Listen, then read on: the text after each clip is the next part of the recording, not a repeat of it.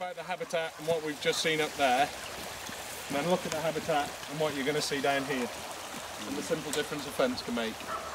It's not a ditch, this is a stream. And believe it or not, you will probably find that this is more biodiverse than the, the main river that we, or main stream we've been looking at. And for us, these, these are the arteries that, or, or the lungs of the river. If you can keep these clean, you'll keep the main river clean.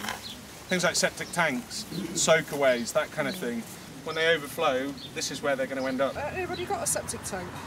Yeah. And do you, do you sort of have any maintenance programme ever empty it or I think I think people think they can just leave them, you know, 30 years, 40 years, and they'll be all right. But uh, they, they quite often cause problems.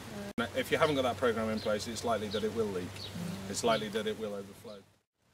Just to reinforce what Jack was saying about the importance of these, uh, the, the houses up there, when they were building those, I can't remember how long ago, 15, 20 years ago, uh, one of the tanks, the central heating tanks, uh, was leaking, and this was full of diesel. And I was just astonished to see the, the wildlife that was dead in this brook. It was full of freshwater shrimps, Yeah, absolutely full of them.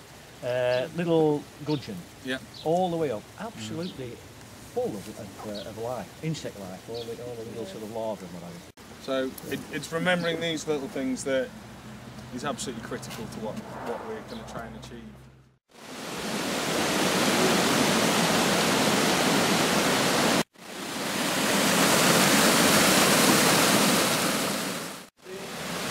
The problem with weirs is that fish struggle to get up. Sometimes weirs can be complete barriers, they can't get over them at all. Sometimes fish can get over them in the right flows. So we know that salmon and sea trout can get over this weir, but our evidence suggests that not very easily, not in the right place at the right time. So for us, we need to improve that. What weirs do is they impound gravel. So thinking about the river in another way is it's a conveyor belt of gravel and sediment and substrate. You put a weir in and you stop that conveyor belt. There are a lot of issues related to weirs, but the other one that's quite obvious is that if this weir wasn't here, the water level would be a lot lower. If the water level was a lot lower, there would be a much lower flood risk to these houses near the street.